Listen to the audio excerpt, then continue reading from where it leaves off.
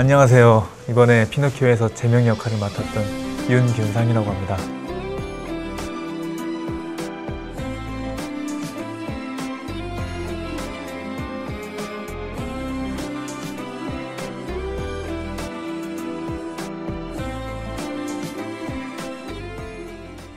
사실 진짜 어려웠어요. 차라리 기재명이 아예 사이코패스라면 그거에 미쳐버리면 되는 건데 기재명은 정말 착하고 정말 가족밖에 모르고 거기다 영특하기까지 한 그런 청년이었거든요.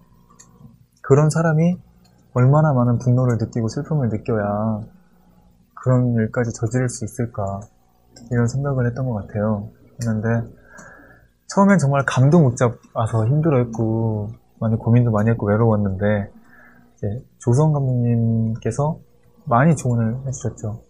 기자님들이 그렇게 힘들게 한다라는 건 몰랐죠. 그렇게 막 돌면서 경찰서에서 그렇게 지내면서 기자 기사가 어떻게 나오는지를 좀 배웠죠.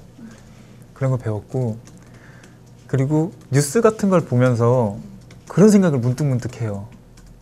저희, 저희 드라마에서 송차욱과 MBN 국장이 언론을 약간 뭐라고 해야 되지? 사람들한테 왜곡된 보도를 하잖아요. 그렇게 해서 뭔가 사건을 가리고 이런 게 있잖아요. 실제 그게 현실에서 저게 뉴스를 보면서 저게 진짜 비틀어진 정보라면 되게 무섭겠다, 잔인하겠다, 막 이런 생각도 들고 연기를 배우다 보니까 그 전에 모델 일을 했었거든요. 모델 하다가 군대를 갔다고 연기를 배운 건데 연기를 배우다 보니까 이게 너무 좋아져 버린 거죠. 너무 좋아서 공부를 하고 방송을 해야겠다는 마음을 먹고 지금 회사를 만나서 일을 하고 있는데 어, 지금 이번 작품 때문에 되게 기분이 새롭죠. 네. 저는 약간 집돌이거든요. 집에서 쉬고 자고 먹고 밀린 드라마 보- 보고 영화 보고 집에서 누워서 게임하고 저는 눈이랑 눈썹이요. 예. 몰랐는데 연기 생활을 하면서 제일 많이 듣는 얘기가 눈이 매력적인 눈이다. 그리고 너 눈 때문에 네 마스크에 선한 얼굴도 있는데 약간 차갑고 냉소적인 얼굴도 있다. 근데 전 그 말이 되게 좋았어요. 그래서 눈이 저한테는 약간 무기라면 무기이지 않나. 사실 장르를 가리는 배우는 아닌데 영화나 드라마를 봐도 장르를 가림없이 그냥 다 보거든요. 보는데 옛날 연기를 처음 공부할 때부터 하고 싶었던 거는 되게 진한 남자들 우정 얘기 이런 게 하고 싶었어요. 하고 싶었고 이번에 피노키오 작품이 조금 다크했잖아요. 아까 기자님 말씀하신 것처럼 그런 느낌이 강하다 보니까 조금 말랑말랑한 네, 로코 같은 거, 로맨틱 코미디 같은 거도 하고 싶다. 제가 그런 거에 대해서 생각을 못 해봤던 게 지금까지 했던 모든 작품이 남자들하고 부딪혔어요.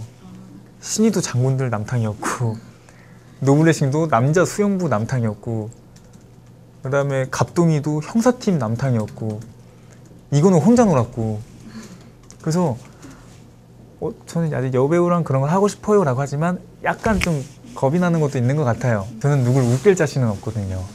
재밌을 자신도 사실 없고 없는데 탐난다기보다는 하- 하고 싶은 게 요즘에 뭐 삼시세끼라던가 1박 2일 정글의 법칙 뭐 이런 것들 리얼 프로그램들 있잖아요. 그게 아 이런 거 자신 있어 사람들한테 재밌을 거야 라고 그게 아니라 그 사람들하고 어울려서 그렇게 여행도 가보고 그렇게 어디 가서 게임하고 놀아보고 이런 경험을 해보고 싶은 거예요. 제가 한 작품들을 시청자 여러분이 봤을 때 야 그 작품에서 윤윤상 되게 잘하더라 이렇게 말하잖아요.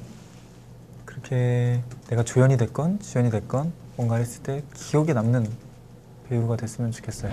너무나 큰 사랑과 관심 보여줘서 감사하고요. 앞으로도 끊임없이 발전하는 배우가 될 테니까 지켜봐 주세요. 감사합니다.